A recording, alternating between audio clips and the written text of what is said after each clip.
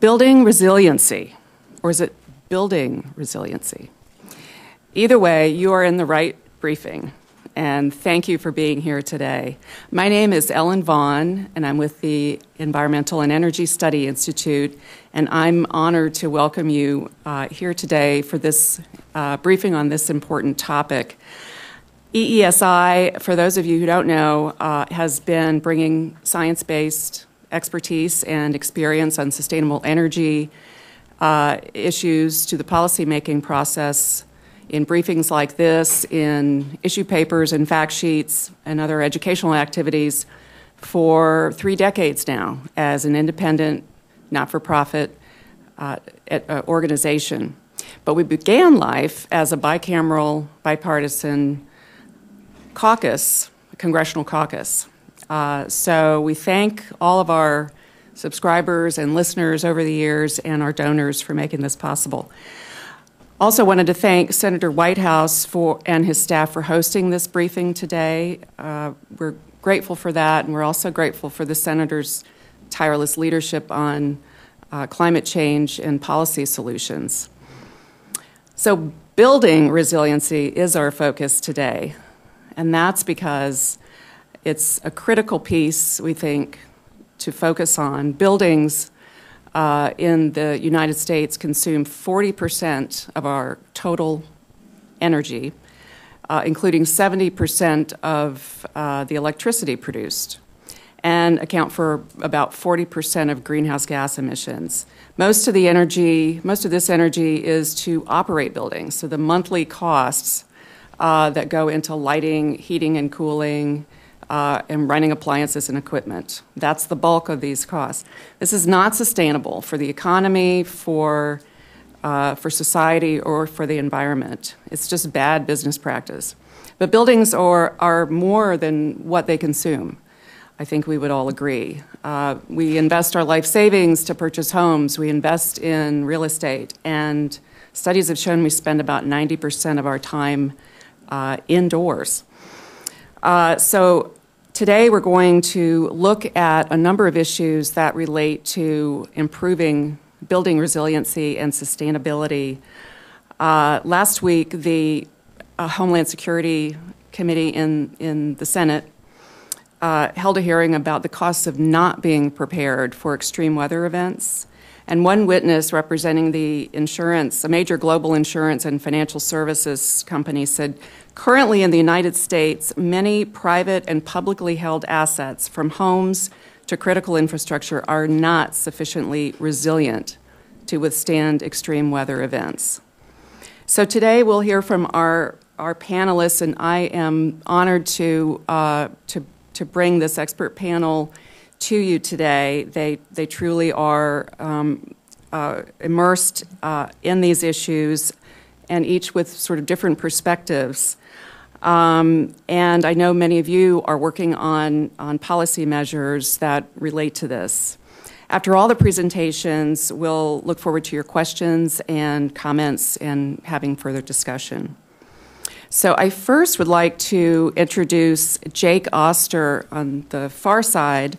Uh, Jake is Deputy Chief of Staff and Legislative Director with Congressman Peter Welch from Vermont. And Jake is pressed for time today, I believe, so I want to um, get off the podium and let him uh, give some remarks, and then we'll, um, we'll move on. Is this on? Can you hear me?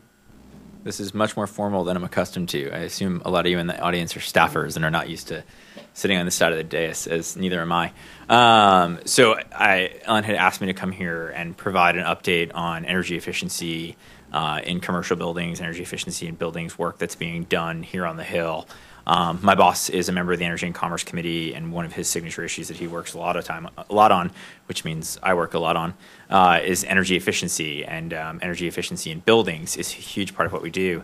Um, forty percent of our electricity is consumed by energy in buildings, and so uh, it's always considered low-hanging fruit of something that can be dealt with uh, to deal with, you know, whether it's climate change or energy savings or even just lowering the electricity bills um, for, you know, whether it's people in houses or you know commercial um, enterprises and buildings. So uh, there's a wide and broad interest. There's bipartisan support for getting energy efficiency work done, and uh, it's something we've been heavily invested in. Uh, and you will find it brings sort of the broad cross section of interests here in Washington together to deal with how we accomplish saving energy. Um, we work closely with everyone from the Sierra Club and NRDC uh, to the National Association of Manufacturers, the Business Roundtable, and the Chamber of Commerce. Uh, because while saving energy is good for climate change, it also tends to be makes good business sense. Um, because energy bills are very high for businesses. Um, energy is a major cost uh, for businesses and commercial buildings, and especially for folks in the industrial sector. Um, if you're making things, your energy costs are a large part of what you do. Uh, and while there's some debate about how much we invest in energy efficiency and how you know how far we go in mandating um, energy efficiency measures. There is general agreement that it makes sense for the federal government to be engaged in promoting and enhancing and studying energy efficiency measures, and there's a real opportunity for doing things there. So I, I think many of you who are following uh, the sort of current state of play on the Hill regarding energy efficiency issues know that Senator Shaheen and Portman are reintroducing legislation today uh, that will um, very much be the marker bill for energy efficiency this Congress. Uh, that I think there's a real hope to get done, and um, uh, they have baked in sort of 10 other items that were out there uh, that will go in um, that hopefully get them to 60 votes. Um, here in the House, uh, the most recent action has been that the Energy and Commerce Committee passed out with unanimous support uh, the Better Buildings Act that uh, Congress introduced. Uh, and to give you a quick just tutorial of what that does is there is an issue in commercial buildings, what's known as the split incentive issue. And so, um, I, I, how many of you rent apartments in big buildings here in Washington? Show of hands. A few of you. So um, you all probably pay your own electricity bills within your buildings, right? But you don't necessarily control the insulation in your walls uh, or the inf- or the larger structure around your apartment building. So you have a finite amount of what you can control within your space, and your building owner has uh, control about what you what they can do, but they don't aren't incentivized because they're not paying the electricity bill, right? You pay the electricity bill, but they own the insulation. Um, so there's no incentive for there to upgrade the insulation. There's no incentive for you to upgrade the insulation because you don't own it. So that's what's known as a split incentive, and that same split incentive exists in commercial buildings. And for what we hear from commercial building owners is that sometimes energy costs can be for energy costs can sometimes be 50% from tenant usage in their buildings. So while they're running the HVAC units and they're running the lighting systems in the hallways and the elevators and things like that, just the usage within their tenant spaces can eat up 50% of their electricity costs. And so they have no control over what goes on in the tenant spaces. And the tenants have no control over the larger building. And so the federal government has a terrific program that you've all heard of called Energy Star. And there's Energy Star recognition for commercial buildings, right? You might stop in an Energy Star building on your way home downtown on K Street today. Um, my boss has his uh, district office in a commercial uh, in, an, in a Energy Star building in Vermont. Uh, but there's there's an Energy Star for buildings, but there's no recognition for tenants in tenant spaces. So there's no federal recognition program that says, "Hey, you built out a really energy efficient tenant space within that commercial building." There's no federal program to say, Congressman Welch's office here in the Energy Star building that's a great a great space. You guys did a lot of work. You've met certain specs. We're going to recognize that as being an energy efficient space.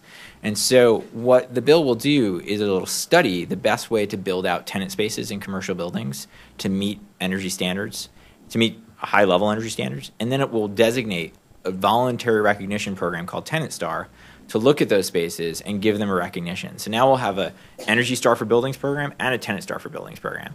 And if you bring the two in sync with each other and you start building out energy Tenant Star commercial spaces in Energy Star buildings, you will maximize energy efficiency in those buildings and you can save a lot of energy. You can invest in great jobs because building out commercial building out energy efficient spaces creates jobs. It drives technology and uh, obviously there's the side effect of being good for climate. Um, so uh, that is what the bill will do. We're excited it's coming to the floor next week. We expect, um, you know, this may be an opportunity to do more on energy efficiency.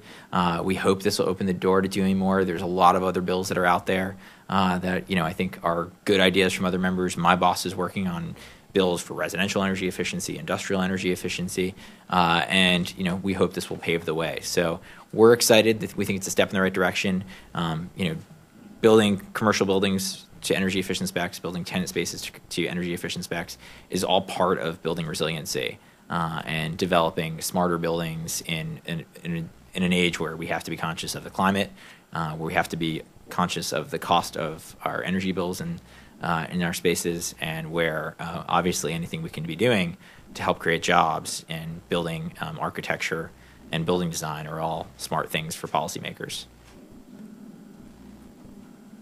Jake, thank you. I should mention also that your boss is on a lot of caucuses, is very busy, keeping you busy. So, the High Performance Building Congressional Caucus, and which he co-chairs with uh, Congressman McKinley from uh, West Virginia, a bipartisan uh, effort.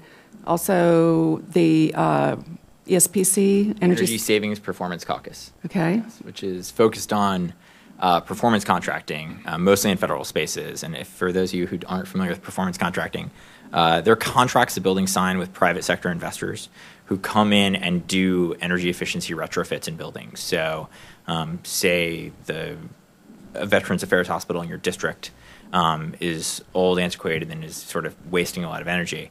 Um, maybe it's time to change all the light bulbs, change out the heating and cooling units, put new insulation in, put in a cool roof but yet there's not appropriated dollars for Veterans Affairs to do that at that hospital. Well, a company like Honeywell or Johnson Controls or Siemens could come in and say, well, we'll do this project for you, and we'll guarantee 30% energy savings from this project. And from those energy savings, you can slowly pay us back over the course of 15 years. And your energy bill, your, your actual total costs every year won't change for the next 15 years. You'll just pay us back the equivalent of the savings. And at the end of the 15 years, you keep all the savings after that. So it's a way to bring in private sector investment into public spaces, guarantee energy savings, get the work done without additional appropriated dollars. Uh, and it's something that my boss is working on with Congressman Gardner of Colorado. Uh, and is a real opportunity to also sort of foster private sector development, get more energy efficiency into federal buildings. Um, and then, of course, the added benefit of reducing our impact on the climate.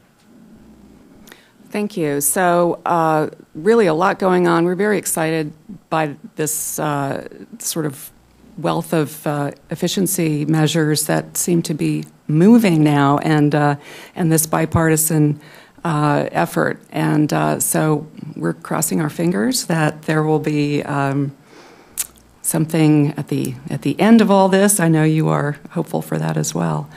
Um, I know you're pressed for time. Are you taking any questions? I'm happy to take a question or, or two. Yeah, before I run out, I apologize. I'm a little bit uh, scrambling today because we've got the bill on the floor next week. So, um, if if anyone has any questions, I'm happy to answer them. That was easy. Thank you. Okay. Jake, thank you so much for coming by, and uh, we'll we'll be eager to see what happens next week and beyond. And thanks for your efforts. And please thank the congressman for us, too.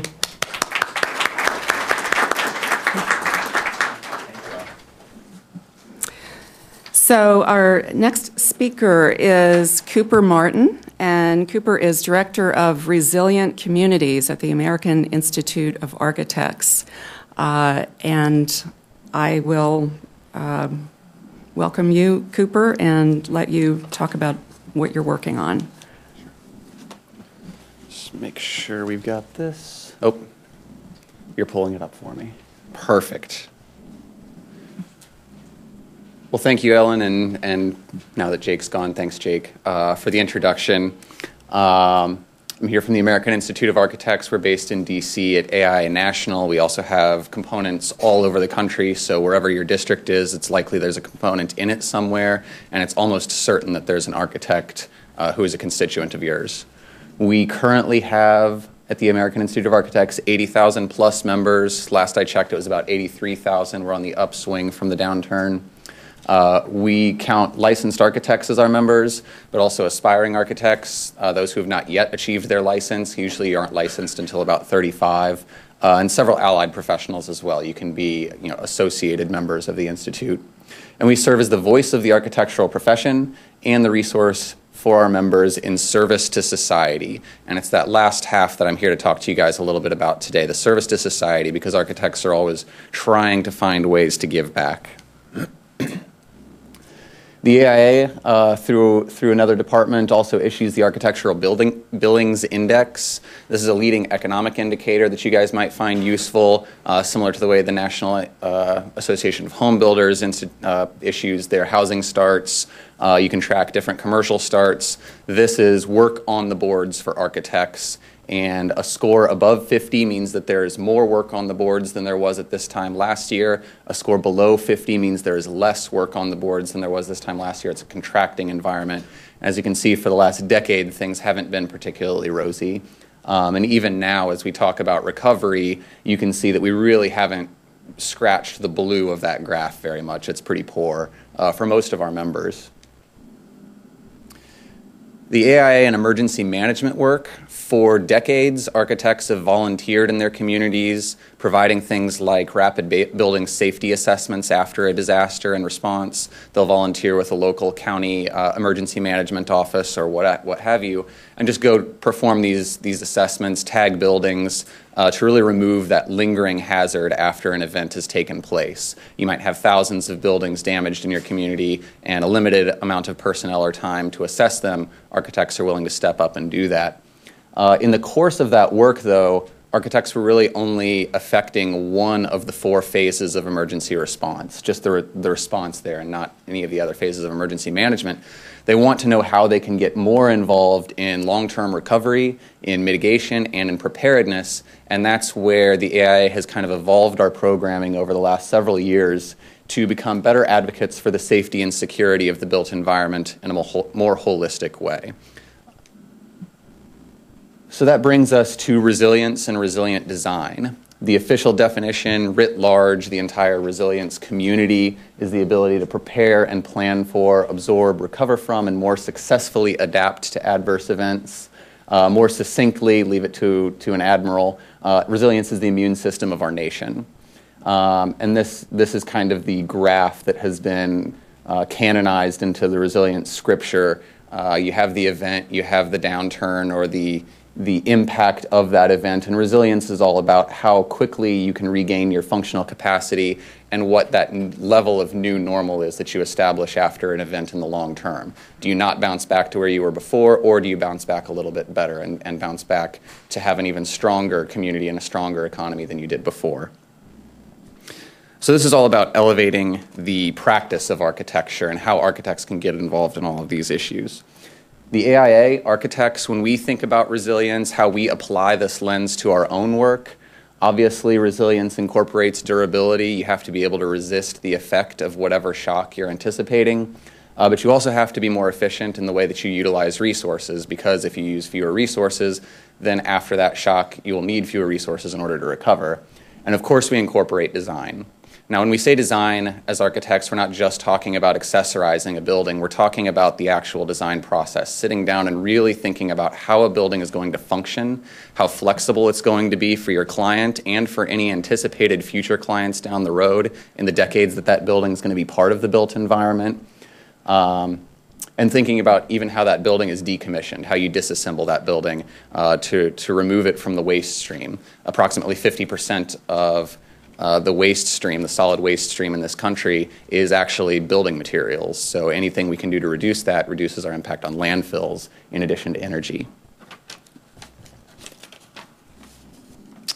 So why has resilience sort of become this gr- this growing, emerging topic over the last couple of years uh, that you probably have heard more and more about? Frankly, it has to do with the, the frequency of natural disasters more and more we're, being, uh, we're seeing the impacts of natural disasters on the built environment. Forget climate change. The way we're building our communities, the way we're building our buildings, isn't resilient to the climate and the variability in the climate that we have right now. Uh, so that's a significant threat, a significant risk to businesses, uh, and something that people are more and more cognizant of. Uh, a map that I'm very fond of that I didn't include in this because it's a little bit busy, uh, but you can find it on the Atlantic uh, website, is actually a map of Chicago that compares incidents of flooding and insurance claims from flooding with the actual locations of floodplains. And you'd be surprised to see that most of the incidents of insurance claims for flooding aren't in the floodplain. Uh, we don't do a perfect job of managing our floodplains in this country. We could do a lot better, but we do a really, really poor job of managing floods outside of floodplains.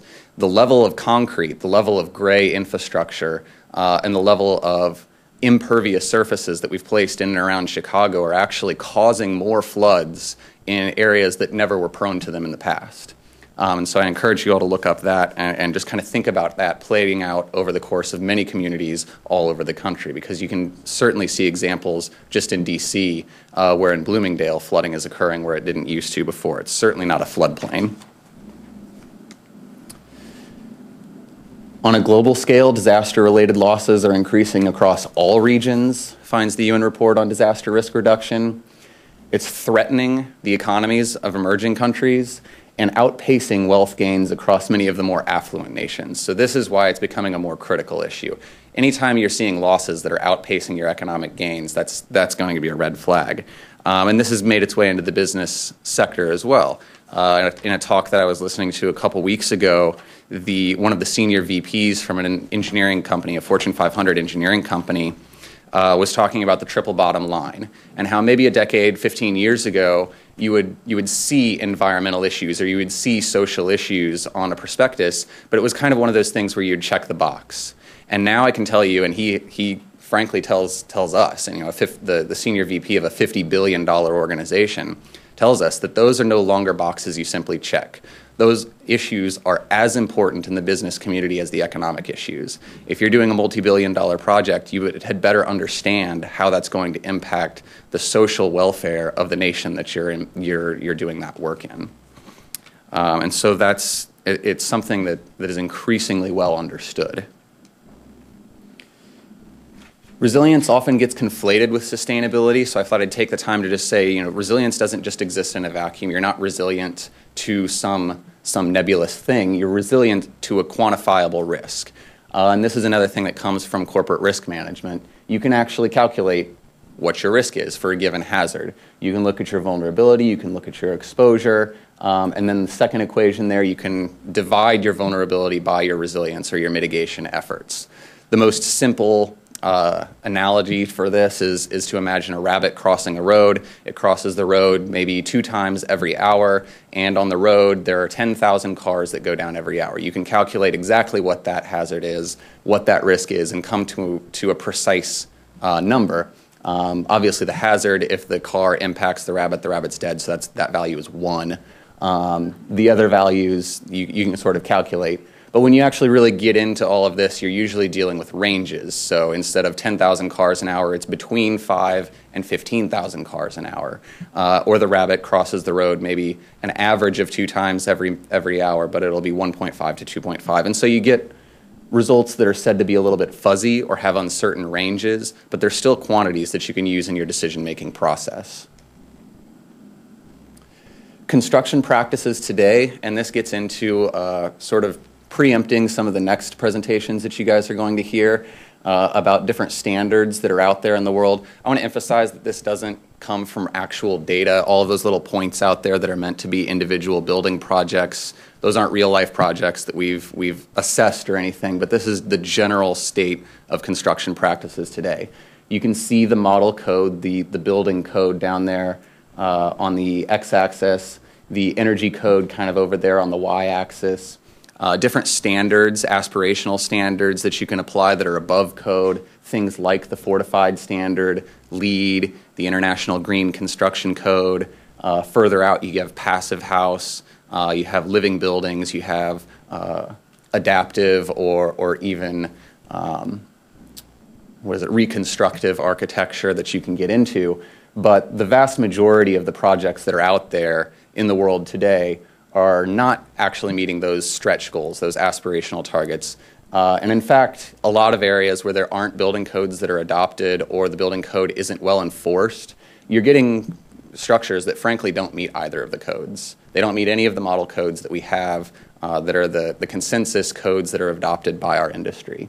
And so that's that's what we talk about when we talk about elevating the practice. We're not talking about pushing everybody up into the top right of that graph. We're talking about trying to eliminate the bottom left of that graph, the things that just shouldn't be a part of the built environment. Uh, they're hazards to the community overall, particularly when you start building more and more and more of them.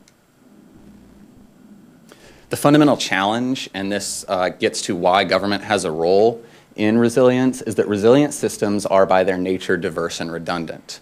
Uh, people who study resilience particularly look at biomimicry, they look at natural systems, they look at the ability of those systems to adapt to stresses, to have redundancies built into them. Um, and comparatively efficient systems, systems that we usually find engineered uh, in our own society, systems that are economic systems, are very focused and they eliminate redundancy. So you have this tension. And again, this is something that's well understood in business practice. You have greater efficiency over there on the far left of the graph, you have greater resilience over there on the far right of the graph, and there's that window of viability where you have a good balance. Um, now, corporations obviously understand this. Agriculture, it's particularly well understood, even in physical training. If you push yourself too far, uh, if you're trying to produce as many crops as possible, you're stressing the system and you're placing that system at a greater uh, chance of, of more catastrophic collapse. Uh, or in the case of personal training, you're just placing yourself at the greater risk of injury. So this can be applied to a number of different industries. And so the role of government is to try and step in and ensure that a given system doesn't skew too far towards efficiency in the short term, increasing the risk of collapse in the medium to long term. And this is where we get into a couple of recommendations. Now, frankly, uh, most of the policies that are going to impact resilience of the built environment take place at the local level, but there's a lot that the federal government can do to set the table to help communities make good decisions in the long term.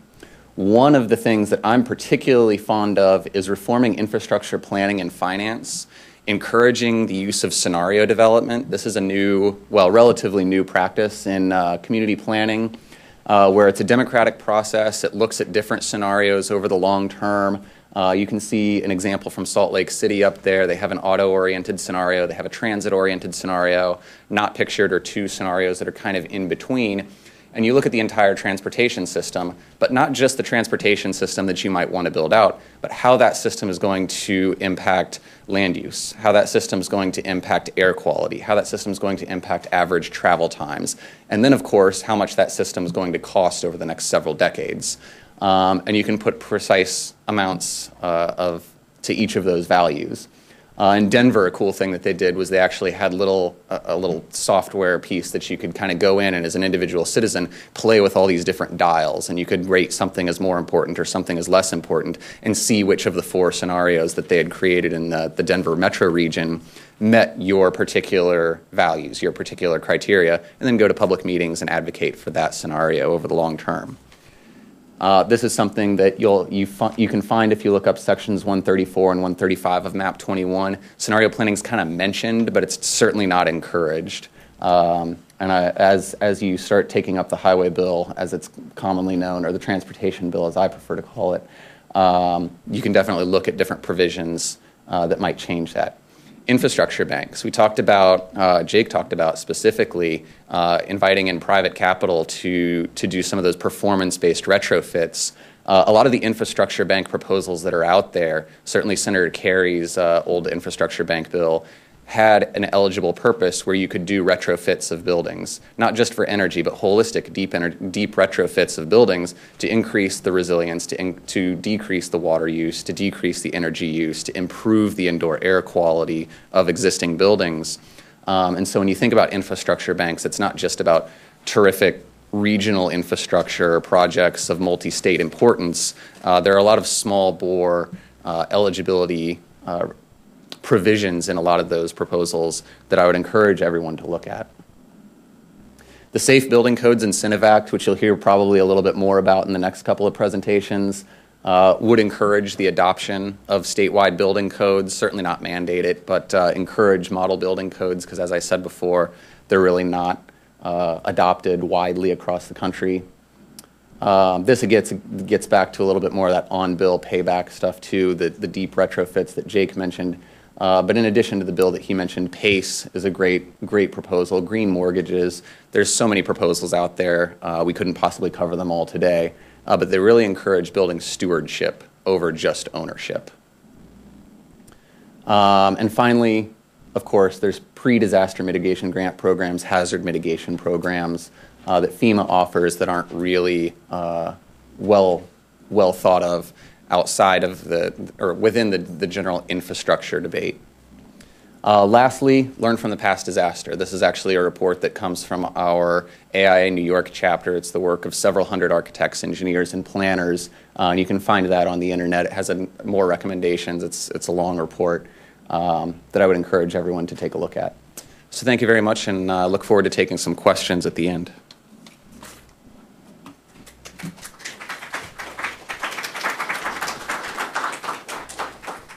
Thank you so much, Cooper. I, I, especially appreciated the slide on the different standards and how they relate to uh, codes. And I think that's one thing that can be confusing. There's so many different programs. Um, but one thing that we do like to stress at EESI is the need to both sort of raise the floor and raise the ceiling. So uh, to at least adopt, uh, for states to adopt model codes, and these model codes as Cooper said, are developed in this national um, consensus process, uh, open process.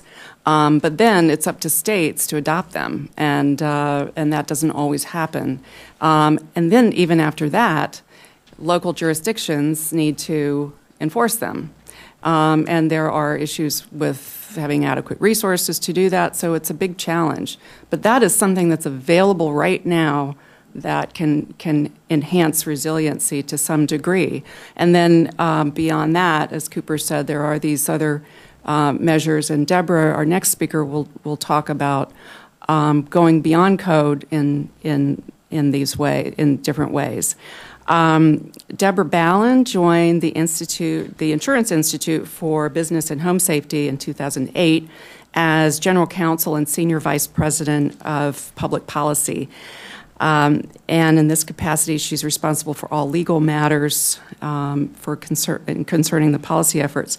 Prior to IBHS, uh, Deborah was executive vice president of public policy management for the American Insurance Association, another AIA, um, in Washington, uh, where she developed and implemented um, uh, federal and state public policy issues and she was also served on the Organization for Economic Cooperation and Development, uh, the high level advisory board on financial management of large scale catastrophes, um, which includes a heavy emphasis on mitigation measures.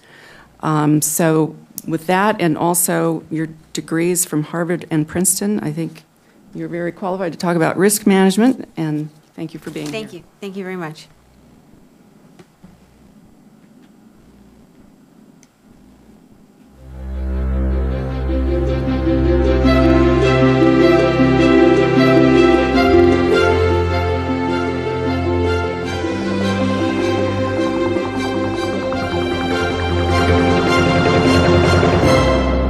Was just to make sure everyone was still awake.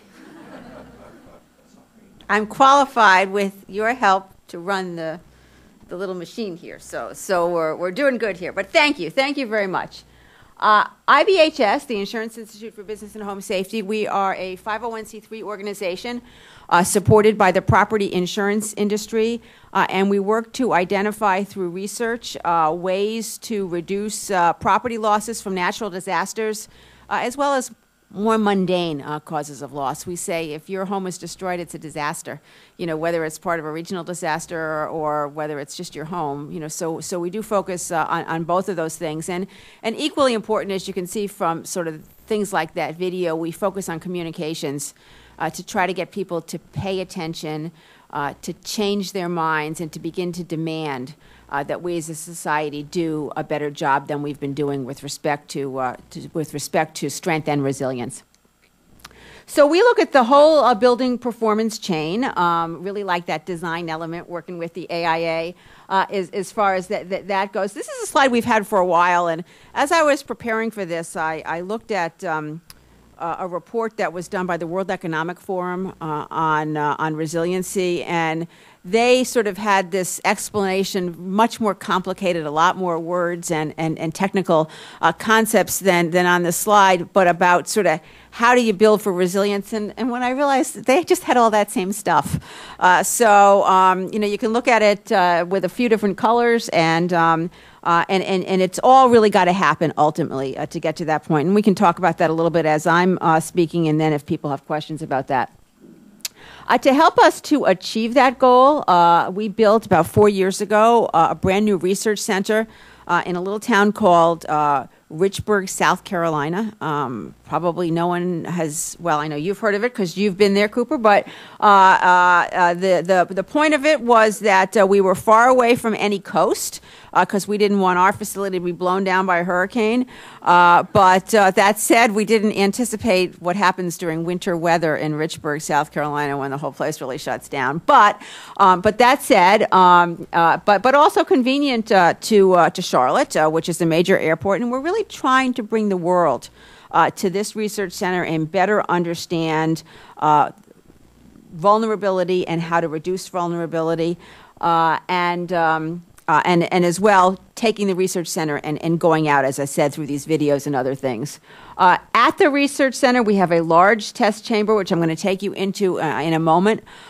it's capable of wind up to a Category 3 hurricane, but, but equally important, um, wind is the driver uh, of a lot of the natural catastrophes that we talk about. Wildfire, it's not fire, it's the embers that are brought on by wind. Hail is also part of a windstorm, oftentimes associated with tornado as well. Uh, and rain uh, often is associated with, uh, there's enough uh, wind to say take off a roof cover and then all of a sudden you have you have issues with the rain so wind really is uh, the unifying force uh, of an awful lot of weather issues and therefore a lot of the testing that we did the first test that we did when we first opened up uh, was wind only. Uh, we looked at two homes. Uh, one was built to uh, the local building code in Bloomington, Illinois.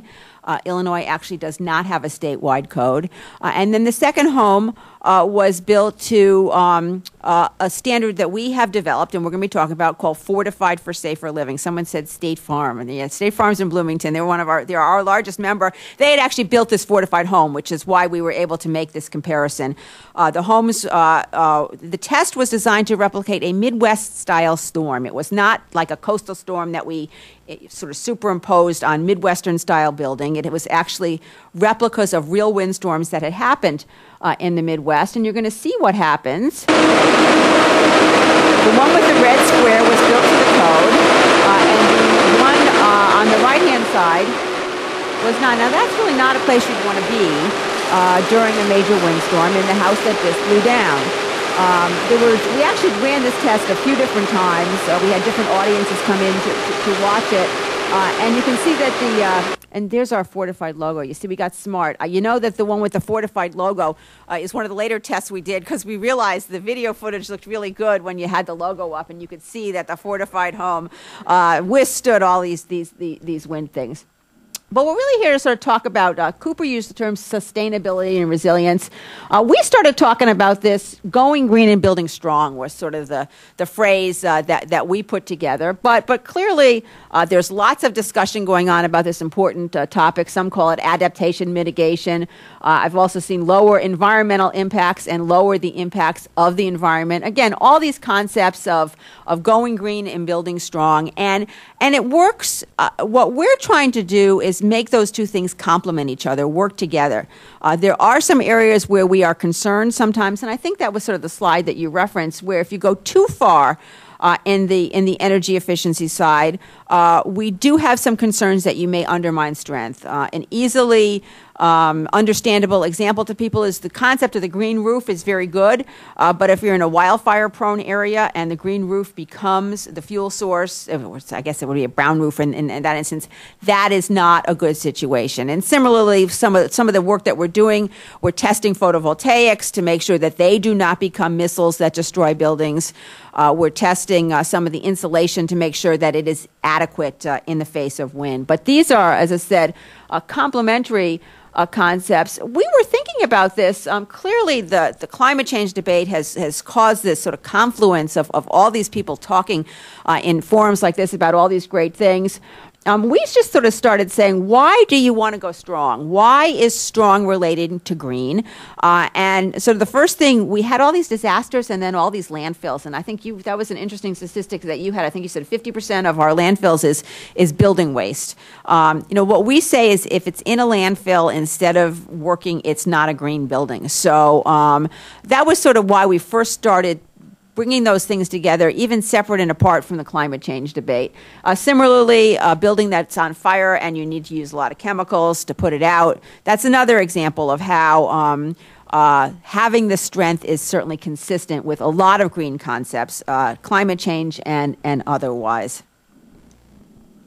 We also think about the community benefits of, of both strength and sustainability, and, and I think uh, most people uh, are aware of these issues, keeping communities intact, uh, protecting vulnerable populations, the healthcare system, uh, jobs, and, and post disaster dollars. I, I sometimes use a slide uh, where we talk about the public policy issues, it sort of has these little levers that work together. And sort of on the one hand are sort of the, the, the concepts that appeal generally to the Republican side, and on the other side are the, the concepts that appeal generally uh, to the Democratic side. Every single one of them is true.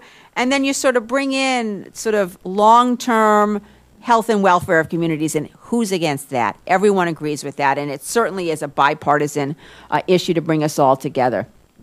Uh, another thing that we, we tend to focus on is uh, that communities are made of homes and businesses. And so we have done some testing of commercial structures.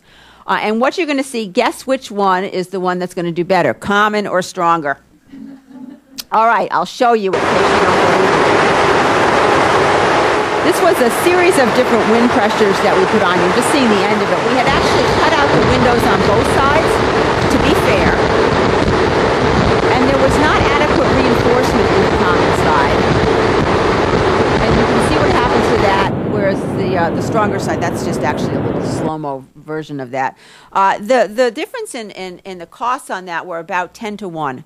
I think it was about $6,400 versus $64,000 uh, in terms of the costs that were associated with the common uh, versus the stronger buildings. So again, we try to talk about what are the long-term costs. I'm sure those are you know issues that you talk about also. Uh, you know whether it's the energy side or whatever. Don't try to save a short-term dollar and, and, and, and lose you know over the long term by by in this case. Uh, not only having your building blow down, but also losing your livelihood, you know, if it is your business. I know we're going to be talking a lot, uh, Ryan, about codes. Um, we care deeply uh, about building codes. We, we tend to focus on the IRC and the IBC. Uh, those are the two uh, main safety codes. A um, lot of technical stuff about building codes. Uh, we do have engineers who spend a lot of time on that, but one of the, the, projects that we did, and, and we updated it a little bit last year, and we're doing a full update uh, to come out next January, is we did a rating the states report uh, of the uh, coastal states between Texas and Maine to look at three things. One, whether they had a mandatory uh, and modern statewide building code in effect. Two, whether it was enforced. I think you mentioned, uh, Ellen, the importance of enforcement. And three, whether the contractors and the subcontractors that are actually supposed to make sure that that uh, code makes its way into your home are licensed and, uh, and, and, disciplined uh, and so forth. And um, you can see that the, the results uh, from a low of four uh, in Mississippi uh, to a high of 95 uh, in Florida and, and Virginia. And what we have found is that there's still a lot of, you talk about a building code to somebody and their eyes sort of glaze over a little bit, and you say, You had a four in your state. And then they say, I want to do better. Uh, and in fact, there is legislation right now in Mississippi that has the best chance of passing of any building code bill we've seen in Mississippi uh, that would improve their code, although it is certainly not, not a done deal. Uh, and here you can see the states uh, that uh, when we look beyond uh, beyond the coast, and actually Connecticut, which uh, does not do well in this map, uh, has I think as of tomorrow will have an updated code. So so just calling some attention to some of this sometimes is, is is a good way to get people to focus. We talked about uh, communities a little bit, uh, and here's just a slide from, from wildfire, which is also important. Uh, and again, it shows how um, shows a couple things, and, and one is that you know communities are made of homes, and that when communities work together, uh, in this case, to have fire adapted communities, uh, they really do survive uh, natural disasters much better. And here's another example Uh, these are actually our fortified uh, for safer living homes on the Bolivar Peninsula. This was prior to Hurricane Ike.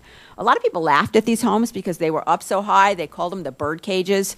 Uh, and then uh, we found out that uh, Hurricane Ike was going right for this uh, community. And uh, I guess we said yay, or maybe we said yikes. Uh, but, uh, but we waited till the wind blew, and then we came back. And, and these actually were the only houses uh, that were standing. There's um, uh, there's been some pictures of the last house uh, standing uh, in Galveston, uh, but in fact, uh, that house uh, was so water saturated with mold that that actually had to be taken down. So, but this is not a community either. And, and, and the point that we make is it's great to have a resilient home, but if everything around you is gone and the power sources are gone, you're, you're not part of a resilient community which gets us to the uh, IBHS uh, fortified standards. Uh, someone mentioned them already. They are Code Plus. I'm running out of time, um, but it's a voluntary standard. Uh, we can certainly talk about that further. Uh, and, and the most exciting development on that is that we are partnering with DHS on a pilot program uh, for Resilient Star. this would be a designation. it's actually the, the standard at this point is identical uh, to our fortified standard. There are a series of stars, uh, depending on exactly how far up the grade uh, that you go on that. Uh, but uh, I, I, loved his comment about the tenant star, um, thinking that that there'd be interest in that, and, and that's exactly what we're trying to test out with our pilot: is how much interest in that we have fortified. Fortified's been around for a while, but you add to it that sort of government-sponsored resilience. It's the star. Everyone again, everyone wants to be a star. Uh, and, and that's exactly uh, what we're testing in the pilot uh, and, and hoping uh, that it will be successful and we can really help to scale up the program that way. Another very important piece of legislation uh, that I think Cooper uh, mentioned also uh, is the uh, Safe Building Code Incentive Act. Again, like Resilient Star, not mandatory, but provide incentives, provide a little bit of pizzazz associated with doing the right thing, and, and, and in this case, also some financial uh, incentives in the event of a disaster. And we are hoping uh, that uh, the community level and the individual level uh, we will begin to move. And I'm, I'm, I'm out of time, but I'd love to. We can we can talk further about that. There's another piece of legislation I want to mention. I don't have a slide on. Uh, it would uh, uh, reauthorize the NWIRP uh, program. Uh, it's the National uh, Windstorm Impact Reduction Program. It's a research program. I think it would provide about $20 million of funding, uh, mostly in the university settings, uh, for uh, windstorm scientific research about windstorms. And I think they are going to mark that up in the Science Committee, hopefully tomorrow, I had heard. Um, so uh, they had a hearing about that last year, and you know, really, again, some very compelling uh, stories that were told about the importance of this research. And again, that ultimately will bring us all to where we need to be uh, in terms of knowing what to do and then finding uh, the capabilities of doing it. Uh, I think people are probably uh, pretty familiar with uh, the president's most recent executive order uh, with respect to adaptation, and and um, uh, these are actually very consistent with a lot of things that have been said. Uh, the goals here are not top-down management, but um, but really providing uh, opportunities and incentives. Uh, uh, a lot of times for private sector investment. So I'm out of time and I'm out of slides, which is a really good place to be. Uh, and thank you all very much. I'm looking forward to what Ryan has to say a little bit more deeply about building codes and standards. And then I know we all want to answer your questions. Thank you.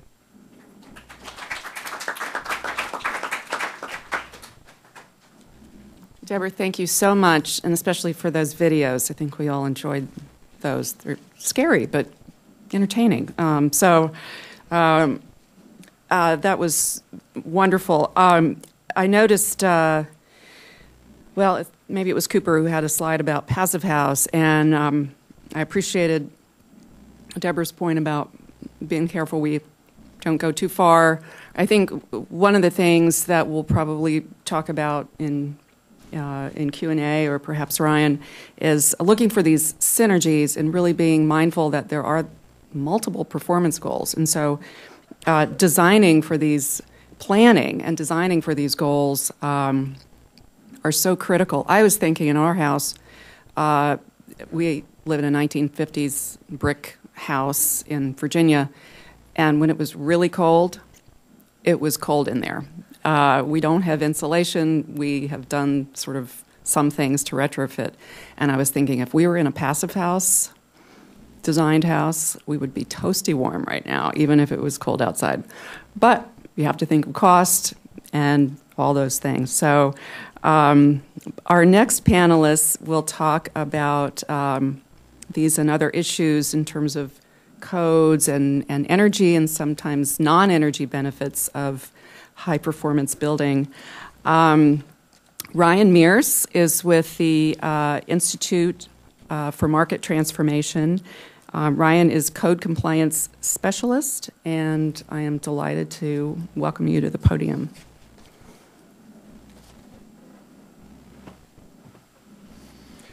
Good afternoon. So um, I'll try not to put you to sleep talking about building codes, as boring as they are. Um, I'm not, not going to dive too deep, but I'm going to take a little bit of a, a little deeper dive than, than Cooper and Deborah did in talking about building codes and the impact that they have on resilience. Uh, but bef- uh, before I do that, the Institute for Market Transformation is a, a DC based nonprofit, and we focus on energy efficiency in buildings. And my capacity there is running our work on energy codes. Often, energy codes get overlooked when you think about resilience because it, it's kind of misunderstood that they, they it's, it's kind of viewed that they don't have a direct impact on health and life safety. But uh, one impact that they do have is when you have a house that is well insulated and well sealed, uh, when you have a, a power outage or uh, extreme weather event, you're going to you're to be able to uh, maintain comfort for a much longer period of time in that house compared to uh, to Ellen's. So. so I'm going to briefly touch on development and adoption, um, kind of at, at, a at a high level, and then I'll dive into enforcement and what role enforcement plays in ensuring that uh, our, our homes and businesses are built to current codes so that the, the ba- very basic levels of resiliency that are, that are kind of baked into all the codes actually get met. I'll talk about some of the barriers and also um, the, so, some survey results. So the development of building codes is it's a they're considered national model codes. It's done on a consensus-based process uh, the most common is the I-Code family, which is um, developed by the International Code Council. And those are done on a three year code cycle. And the ultimate and final vote of what goes into those codes is, is determined by local building officials. So, one way to, um, to improve resilience is to begin to incorporate more principles uh, into these codes. So, the research that Deborah is doing uh, be very helpful to take those findings and see how they can be implemented into a code. As you can see across the bottom, there's a whole uh, family of codes that address all different um, aspects of construction. So then when it comes to adoption, this is really a state level activity, and there are a few exceptions where uh, local governments are, um, are actually the ones who are adopting codes because, uh, as Deborah mentioned, there are some states that do not have a statewide code. So this particular uh, map is actually uh, energy codes, and there's 11 states, uh, the ones in gray on here, that either have no statewide code or they have a code that uh, predates the 2006 energy code. So it's a very outdated energy code. Enforcement comes down to very much a local level activity. This is your cities and counties, um, local building departments.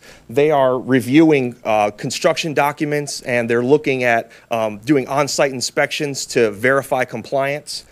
And where the, where the issue of, of education and outreach to, that comes in, as a, a, a quick example here, in New York State has uh, 62 counties, uh, and Orange County, where I grew up, has 44 cities and towns. Most of those cities and towns have some type of building department and they do some type of building code enforcement. When you broaden that out to the US, you're looking at 30,000 uh, jurisdictions that are enforcing or uh, in some way enforcing a building code. So, why, why enforcement? Why focus on this? This article here um, about the, uh, the Moore, Oklahoma tornadoes uh, it, this came out just last week, and it's uh, in advance of a report that is going to be put out that's, uh, that reveals that there was um, construction flaws and code violations uh, that cost lives when uh, the two uh, schools uh, basically were destroyed in that tornado. So this is the reason. Consistent enforcement with the codes is crucial to maintaining a very basic level of resilience. So you probably ask, well, you know, why? Why isn't this being done? Why can't? Why, why aren't building departments out there um, doing this? So, and they are. They they they're very much um, under resourced, and there's there's also um, a lack of knowledge, but more more so than a lack of knowledge, there's not a really adequate training infrastructure um, for building officials. So that's that's really something that is uh, that's critical to improving compliance rates. It's getting getting education out there to building officials and also to industry. So working with AIA to um, to educate architects on resilience principles, on the building codes. You know, the, the architects that are designing them. We want, the, we want their designs to be in compliance with the code when they're submitted, and that way the building official, if, even if he misses something, that building has been designed to meet the code. So that the, the building official is really that kind of last level of, of enforcement, whereas we want the industry that's doing the work, doing the designs, doing the construction, we want them to be the ones who are complying with the code. So there's also a lack of political will, and it, working so much with the energy codes, I think that lack of political will definitely um, definitely applies to the energy code more so than the other codes, but it definitely creeps in. Um, oftentimes, uh, elected officials hear how much the, the new codes are going to increase construction costs, and they, uh, they will uh, reduce code requirements or they will basically tell their building department that they shouldn't be enforcing certain provisions. So uh, politics plays into it as well. And then the last one is just not knowing what compliance issues exist. A lot of building departments don't really have a quality assurance procedure. Um, they don't have, they, they haven't really done an assessment to see how well they're how well they're enforcing the code. So they don't really know what that baseline is to know how well they're doing and where they need to improve. In uh, a couple of years ago, IMT did a study that found that for energy codes, to improve compliance with energy codes, $810 million was needed uh, nationally on an annual basis uh, to bring compliance rates up to 90% or better. Um, that was based on some best practice jurisdictions who were providing specific resources for uh, energy code enforcement and then scaling that model up uh, across the U.S. So the, the good news is, is that there's many ways to improve energy code compliance that don't involve just throwing money at it. You can improve efficiencies within building departments, uh, many of which are operating, you know, the, the, same way they did in the, the 50s and 60s and 70s. Um, you know, with a lack of resources, it's difficult for them to um, take advantage of the newest technologies and faster ways of doing plan review and inspections.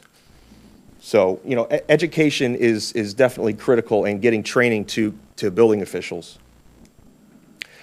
So I, I want to round out my presentation with uh, some results from uh, uh, the Build Strong Coalition did a survey of 44 um, insurance and disaster response uh, professionals, industry and government professionals and had some, uh, some very interesting findings.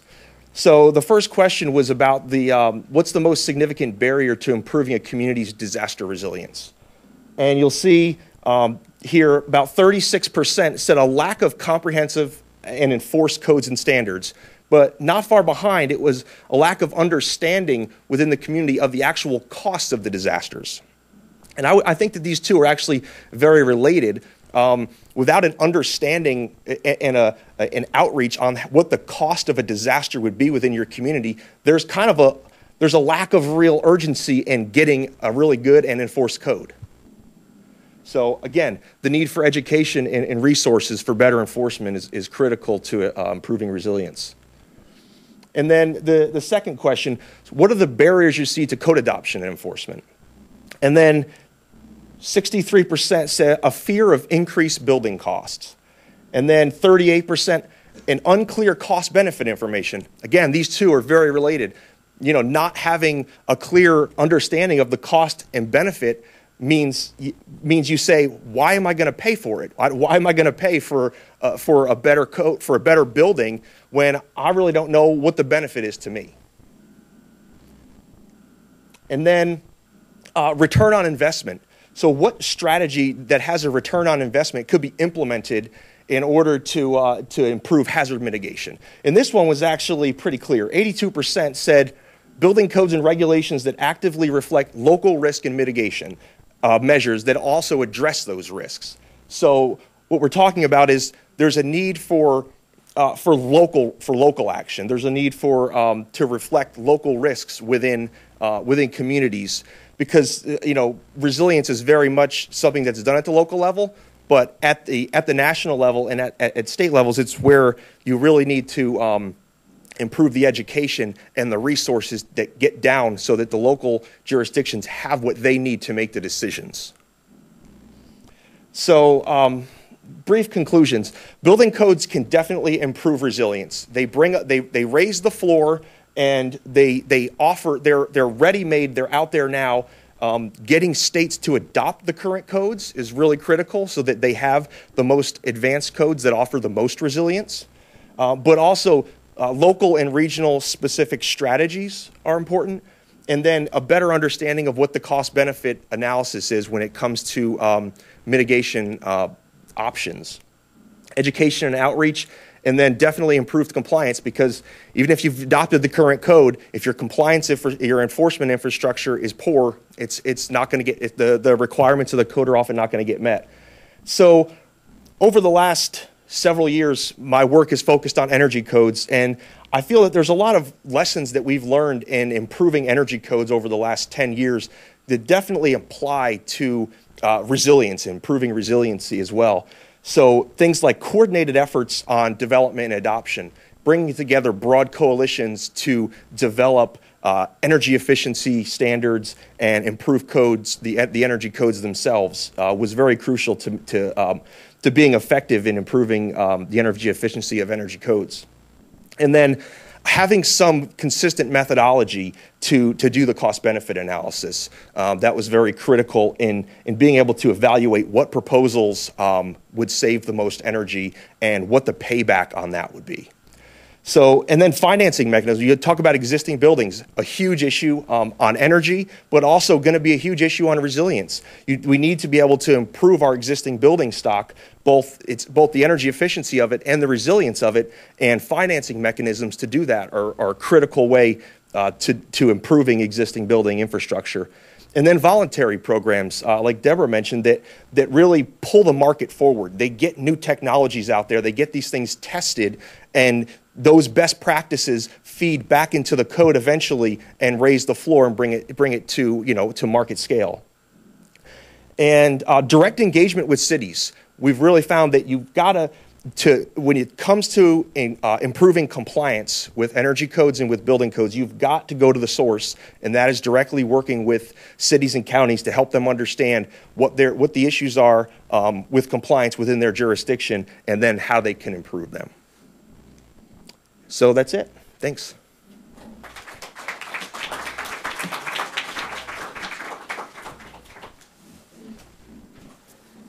Thank you, Ryan. That was that was terrific, uh, and I think all of these uh, different aspects show both uh, how big this issue is, but also how many uh, uh, smart people are working on it, and how many good initiatives are underway to um, to make some inroads. So I thank the panel for, for your presentations and for the work that you're doing. Um, and I want to open it up for, for questions from you uh, and your comments and further discussion at this time for any of the panelists. Fred? Uh, Ryan, can you give us a specific example of a cost benefit um, analysis that demonstrates the value of either resilience oriented or energy oriented codes? Um, for, for, from an energy code perspective, um, to uh, so the, the, Department of Energy developed a, um, a, criteria for, for doing cost benefit analysis. Um, and the, it, it is, in the case of energy codes, it's, it's through energy code modeling to see um, what to, to really compare different measures, uh, different levels of insulation, um, how much energy they're going to use, you know, with uh, an R15 insulation compared to an R21 or something like that. And then how long would it take uh, the, the, a homeowner to recoup that investment um, on the, you know, after they've, uh, they occupy the home. So what the energy savings would be from instituting that measure.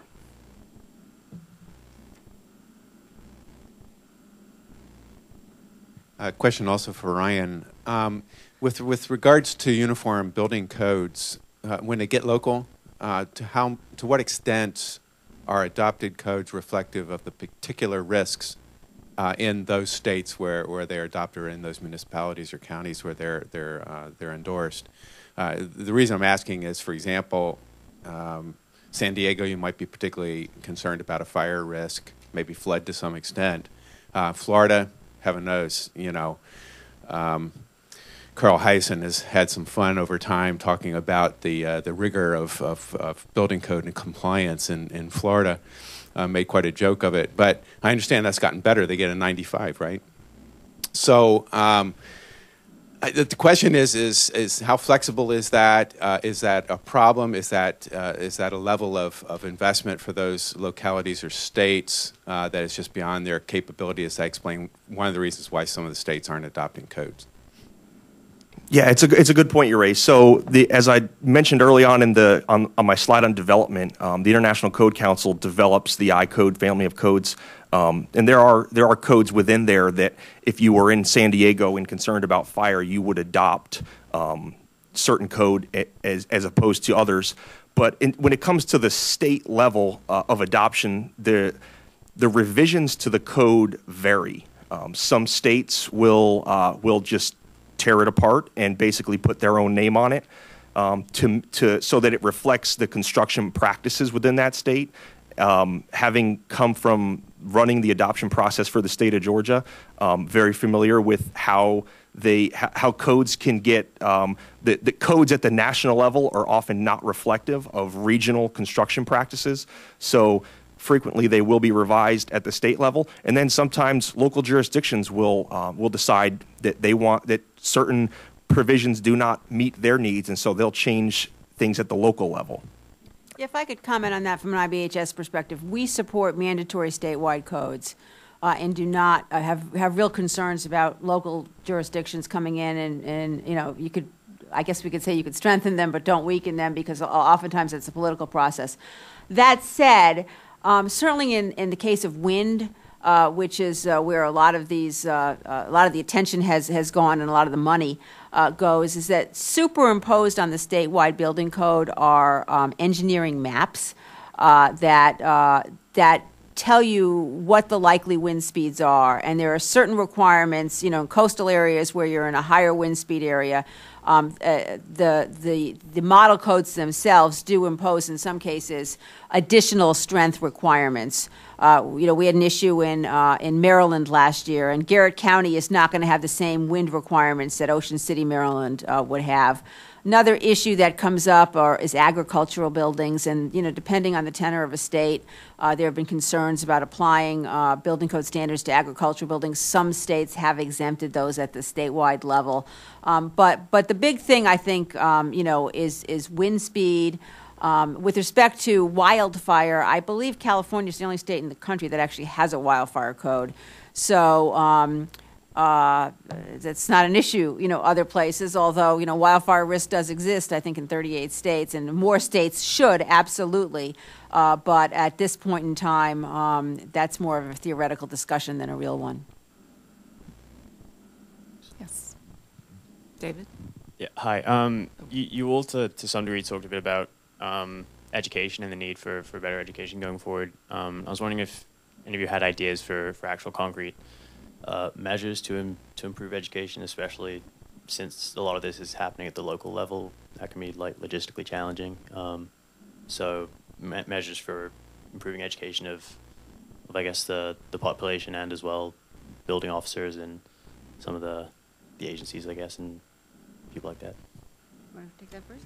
Yeah, uh, I can start. Um, from our perspective at the American Institute of Architects, just being a member requires you to obtain a certain number of uh, continuing education credits to maintain your membership, and, and most states require it to maintain your license. Um, so we have what are called health, safety, and welfare courses uh, that are offered by providers all over the country. Uh, right now, we're working on devising a curriculum that's going to be specifically for architects uh, that'll sort of include 101, 201, 301 levels of resilient design information. There's also a lot of stuff that's already out there that we just need to collect.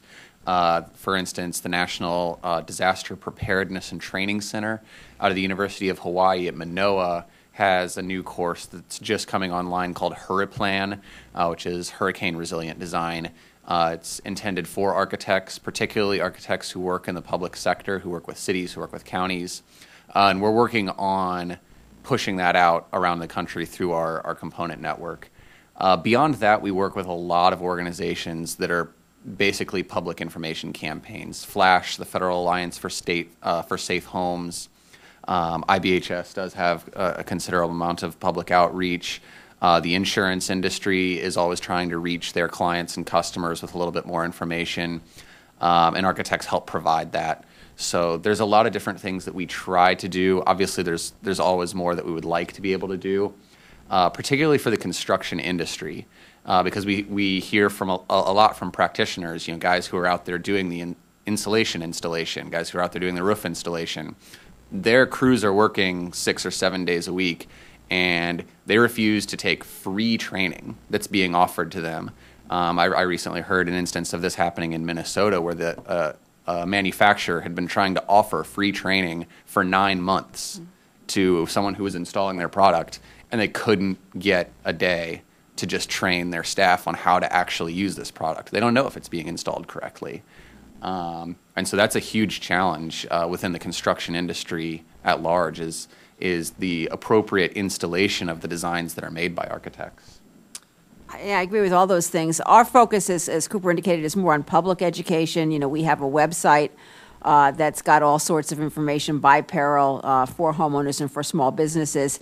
That, of course, requires you to go into the website. So, uh, like other organizations, we're trying to uh, use social media uh, more and more uh, to try to really put out lots of short messages on um, you know things that that your average person can do to to become make their home stronger, whether that's a longer term issue.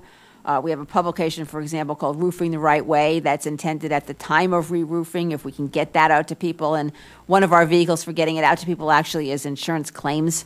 Um, you know, claims examiners, because um, the insurance industry is actually the largest consumer of roofs in this country, uh, indirectly uh, through claims uh, of roofs that have been destroyed or homes that have been destroyed because the roof has failed. Um, so, so, so we are trying to get that information out. The, it is a challenge to work with the roofing industry. As Cooper said, we, we have a number of outreach programs uh, with them. And um, one of them that, that could yield some fruit, although people have to pay attention to it, is a partnership, or we're a member of um, an organization called RICOWI. That's the Roofing Industry Committee on Weather Issues, I think it stands for. Um, and through that group, they are putting together a series of best practices guides for different types of roofing uh, materials. Um, so again, if you can sort of get those filtered down through those sectors to their members, uh, that will help. But but it, it, I'll tell you, it is a challenge. I, I got a new roof about a year ago, and um, had my roofing the right way brochure out and told the, the roofer all the things I wanted. And, and of course, he looked at me uh, right through the husband and said, Little lady, you don't need that stuff. Don't believe everything you read on the internet. Uh, so um, it's a challenge. Little did they know what they were, who they were talking to. No, they didn't. And, and that roofer was not selected. Ryan, did you want to add? Anything on there? Um, just briefly on that, uh, to, to build on something that, uh, that Cooper mentioned about training the trades. Uh, we are finding that bilingual training is actually a, very needed resource to uh, to build up um, our trades so that they can they can really understand um, you know how things are supposed to be installed properly. Um, that's all I'll say on training. Well, I just think that obviously that's a very good question. So we have the technical training, and then you have public education so critical. There's there's a lot going on, but there's so much more that we need to do. I would just add to that that um, the Department of Energy has a building energy codes program, and uh, you know we all try to figure out well what's the state lo- role, what's the local, what's the federal. That is a, a federal. Uh, issue because it is is something that is um, proposed in the in the budget, and um, you know, goes through the appropriations process, and that um, the panel can uh, provide details if you're interested, but the, you know that is to help in this whole code development process to provide um, the modeling and to make sure that the codes are developed to actually save energy. I'm talking about the energy codes, obviously, but then also to help um, with training uh, to some to some degree. So that's that's critical. Yeah, I, I, would I would build onto that a little bit. The uh, the Building Energy Codes program at the Department of Energy has done a great job of developing uh, materials uh, based on the national model co- model energy codes, uh, the International Energy Conservation Code. Uh, they have a, a, site called Building Energy Codes University where they put provide all these training materials. Um, what's really lacking is that is that last step in getting someone to take those materials, uh, adapt it to uh, a state code or local code, and get a training out there um, to, to, to be able to reach code officials and, and professionals and trades. Uh, I have a question for Ryan. Uh, actually, two questions. Uh, you talked about the importance of enforcement and the fact that local governments are financially constrained more and more. There is a growing trend uh, in the United States and actually in the world of third party code enforcement, and I'm wondering if you could comment on that. And my second question has to do with the fact that most of the codes address new construction, which is probably about 2 to 3 percent of the buildings out there. And you mentioned existing buildings on one of your slides, but it was not in connection with codes, it was in connection with incentives. Could you say a few words on how the codes address existing buildings?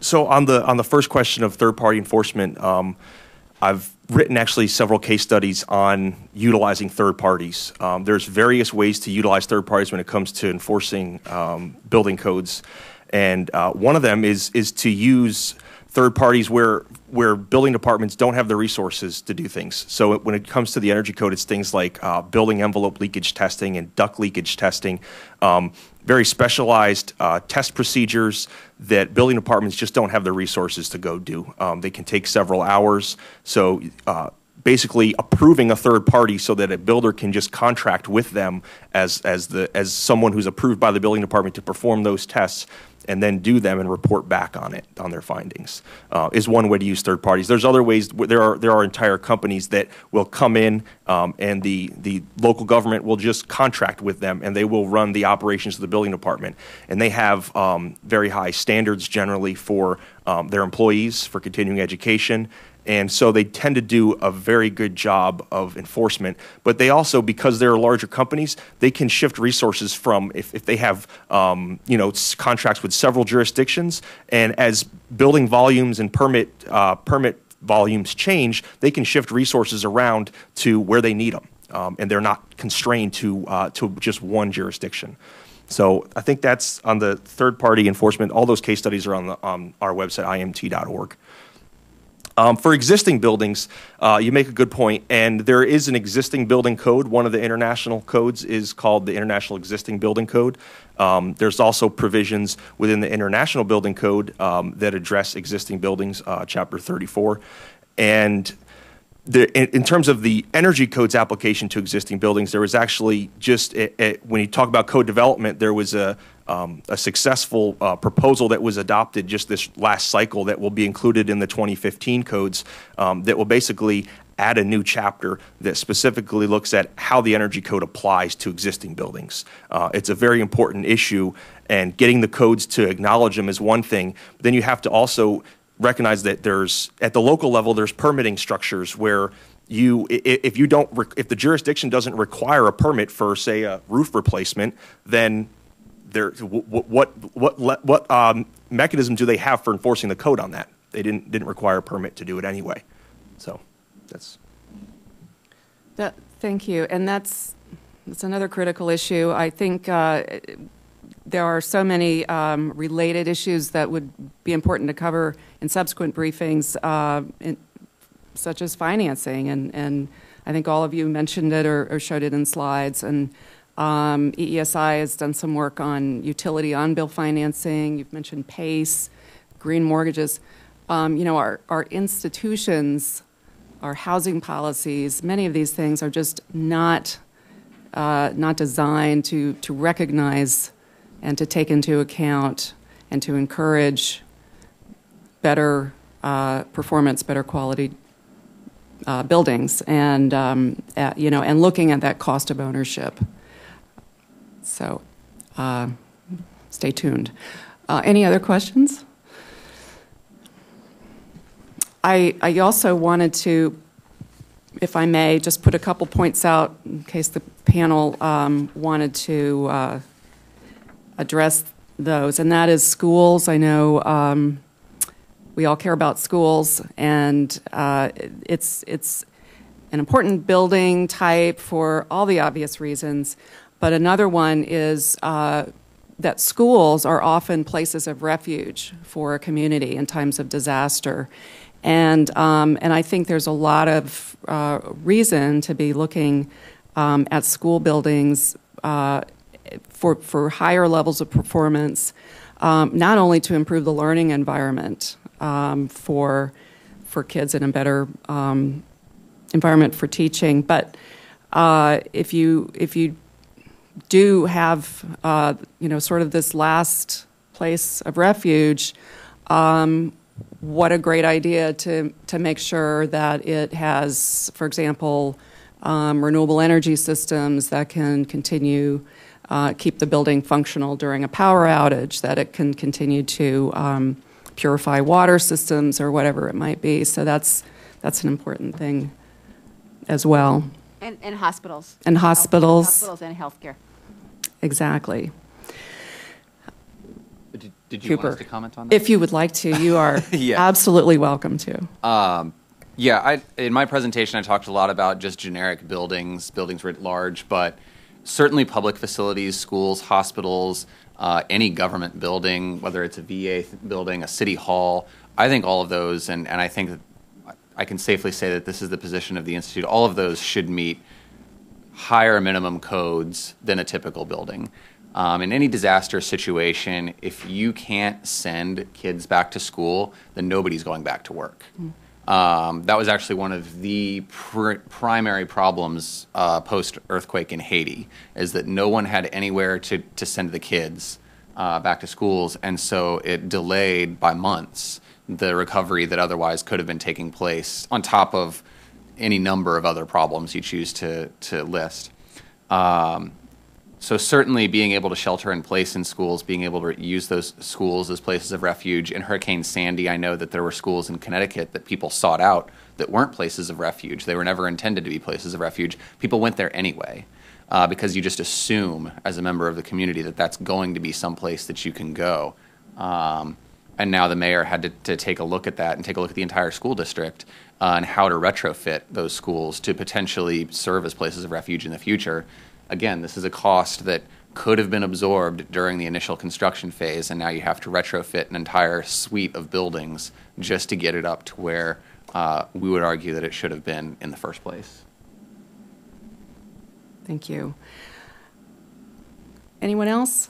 I guess I would leave you all with this one thought, and that is, uh, again, someone mentioned this. Um, you know, it's what society codes and uh, the way we build our buildings, design and build our buildings. Uh, in in some ways, it's reflective of what we uh, expect and demand as a society. Another reason why education is so critical, public education, Consumers Union did a survey a couple of years ago um, and uh, found an overwhelming majority of, of respondents um, just assumed that their homes met the latest code, which isn't always the case, as we've learned. Um, and they absolutely wanted that because they felt that that would be um, cost effective over the long term. So, again, some of those financing issues to, to start to recognize um, co- investment versus cost. You know, how do you uh, how do you prepare and, and save money over the long term? And and I think um, looking at the multiple benefits of better buildings uh, and how those, uh, you know, what we really need a better way of, of doing this cost benefit analysis. And um, some things we just don't factor in right now. We don't factor in the cost of pollution, the fact the the cost of um, uh, cleaning up landfills, the cost of um, uh, not being prepared for disasters, and I'm, I think we're starting to do that, um, obviously. And we have so many other issues to cover: the electric grid, the uh, other aspects of communities, and we're hopeful that we can uh, tackle some of these other issues as well on resilience and sustainability. Uh, so I want to thank the panel very much uh, for your presentations and all of you for being here and your good questions.